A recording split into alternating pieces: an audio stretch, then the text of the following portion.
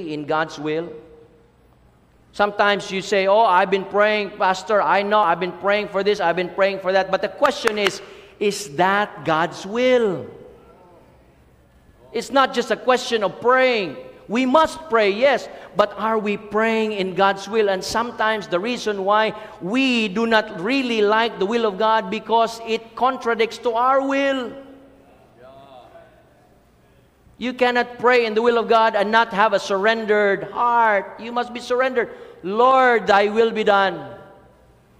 Lord, kung imong kabubuton, Lord, nga muadto ko sa Manila ugma, Lord, pero naa kay ticket sa alas city sa buntag kung imong kabubuton Ginoo tabangi in town ko Lord kay alas city sa buntag unya musakay ko sa Philippine Airlines wa na naa kay wa na unsa nagampo pa ka sa will of God nga naa na naa kay ticket The will of God means, Lord, gusto ba ka mo ato sa Manila? Kay, og dili, di ko palit ticket. That's the will of God. Lord, gusto ba ka nga mo niya kung negosyo kay dili ko mo invest ani or dili ko mo himo ana. Lord, mao ba ning bayhana nga gusto nimo Lord, pakita ko Lord. Lisod ka na, lisod na kay mabla, mag, sometimes our emotions can. Lord, kanang will ay na lang Lord, ay ganahan jud niya Lord. Wa na ang Ginoo na padapli na. Wa. Unya ayha na lang ta unya na lang ta magmahay, hilak nya. Anyway, number four. I think you get the point, amen? Huh? Okay. We are to pray in obedience. Psalm 66 verse 18. Now what is the command? The command is this, Psalm 66 18. 66:18 Psalm. The Bible says, "If I regard or allow iniquity in my heart, the Lord will not hear me." Is there sin that is unconfessed today that needs to be confessed?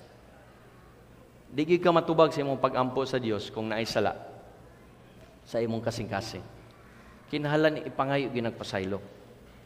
It is foolish to pray if we have unconfessed sin in our hearts and in our lives. If God were to bless us and answer our prayers when we know we are not right with Him, then He would be reinforcing and even enabling us to sin. So, Pastor, kamantay lay ko, narang pagkasako niya, okay naman. Dili ang ginoo nagtubag sa imong mga pagampo. Lain ang nagtubag sa imong mga pagampo. Not like we blessing. Hey, eh, by the way, the devil can also bless you. Don't forget that. The Bible says in Proverbs, the blessing of the Lord, meaning there is a blessing not of the Lord.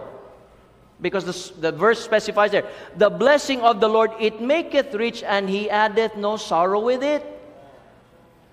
So just because na kay material blessing, just because na kay position, just because na nga dili nga naa na dili tanan dili tanan. So that's why you have to really be sensitive and surrender to the Lord. We are to pray in obedience. The nation of Israel God planned that this nation would be under him and he would lead this nation to be a shining light to all the other heathen nations. But they looked and they said gusto sad mi na ami hari. Instead ang Dios na ilang hari gusto gislag human nga hari. And so they chose a, a wicked king over the righteous king God himself. So many times because of their disobedience great famine great disasters and calamities would come upon the nation because of their not being obedient to God we are to pray in obedience. Number five, we are to pray in fellowship. Mark 11:25. We're surveying anything, the verses that talk about, that teaches about prayer. Okay? Mark 11:25. And when ye stand praying, forgive. Say forgive. Kusga. Forgive for if ye have aught against any, that your Father also which is in heaven may forgive your trespasses. 26. But if ye do not forgive, neither will your Father which is in heaven forgive your trespasses. Maybe there is unforgiveness in your heart. Unforgiveness to your spouse, unforgiveness to your children, children to their parents, unforgiveness among siblings, unforgiveness among neighbors, unforgiveness among co-workers, unforgiveness among uh, unsa pa man kaning uh, uh, aunties, relatives, unforgiveness sa, sa atong mga gitawag nga mga mga uh, uh, kaning business partners. There's a lot of sources of unforgiveness. Maybe your prayers are not being answered. Our prayers are not being answered because there is hatred, there is grudges. We are harboring a grudge in our heart towards someone else. And we cannot expect, you cannot expect God to answer our prayers if there is unforgiveness. In fact, this is very specific among husband and wife. And I would like to mention this in 1 Peter 3 7. Likewise, ye husbands, dwell with them, with your wife, according to knowledge, giving honor unto the wife as unto the weaker vessel, and as being heirs together of the grace of life. Notice the last part of the verse that your prayers be not hindered. Ngano man ni pastor, nganong anak man na ang Ginoo pastor, ngano man kay gusto gyud siya nga dili lagi ta mag-away nga wala masolve ang atong problema. Bisag na ay misunderstanding, you come to an understanding and forgiveness. Let not the sun go down upon That's a mechanism in marriage. It's a good mechanism, by the way. Dili nimo basta-bastahon ang inyong kaminyon, ang atong kaminyon, folks. Importante na, it has a great part in answered prayer. That is why we do not enter into marriage lightly nor unadvisedly. Why? Because ang atong prayers magdepende na sa atong kaminyoon. Nya imong naminyo unbeliever. imong naminyo dili sa Dios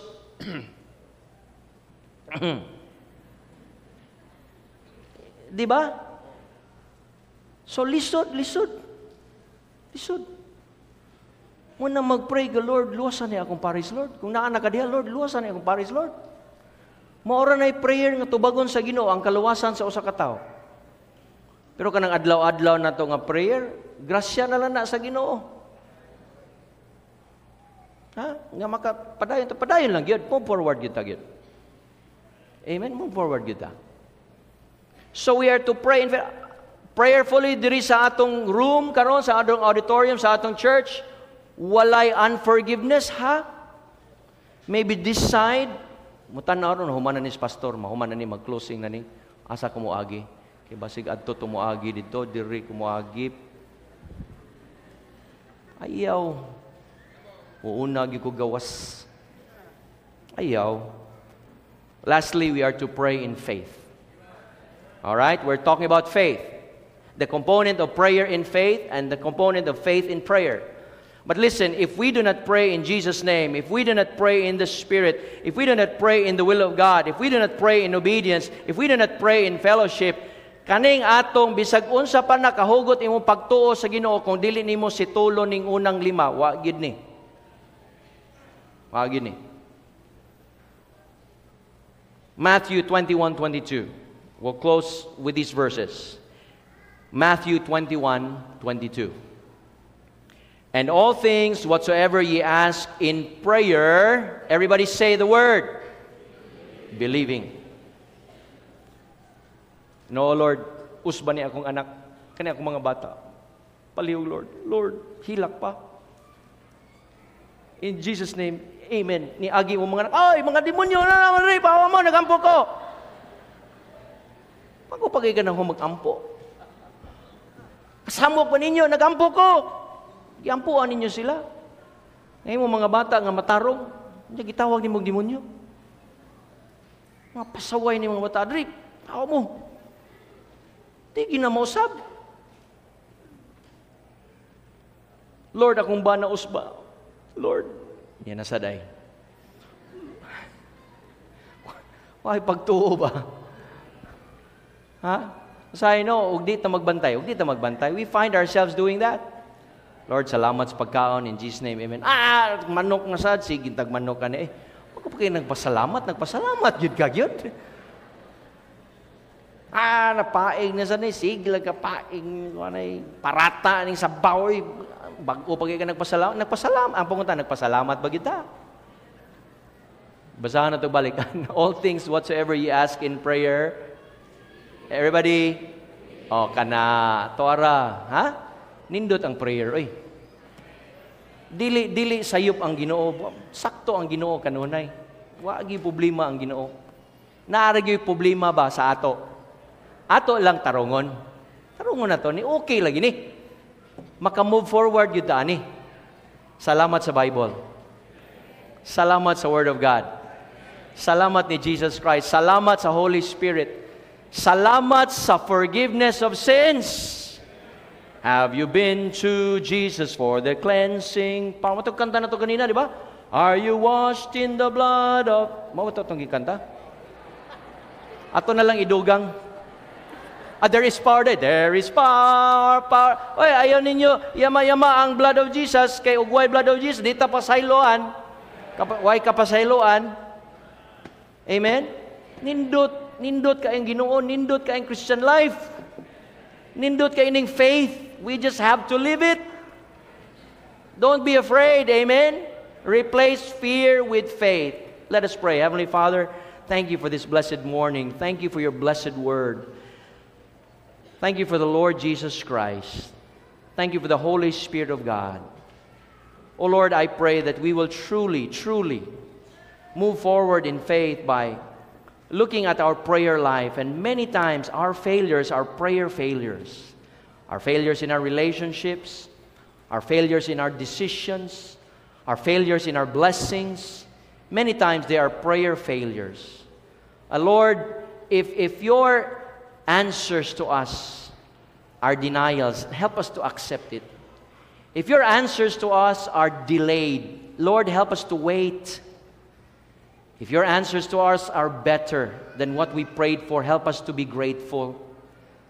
And Lord, even if even when you also answer us directly, Lord, help us to develop not just a prayer time, but a prayer life.